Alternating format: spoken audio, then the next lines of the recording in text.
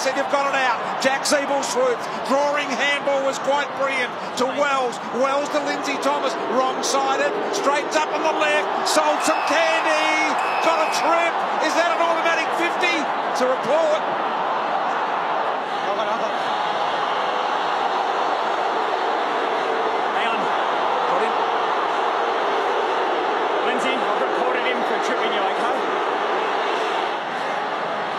Look at the feeling in this one.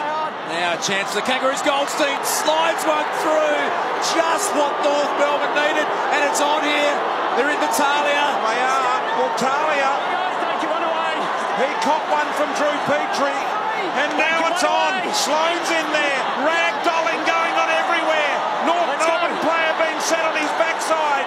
Come on. Sloane and Boomer go at it. Whistleblowers, Tuesdays on afl.com.au.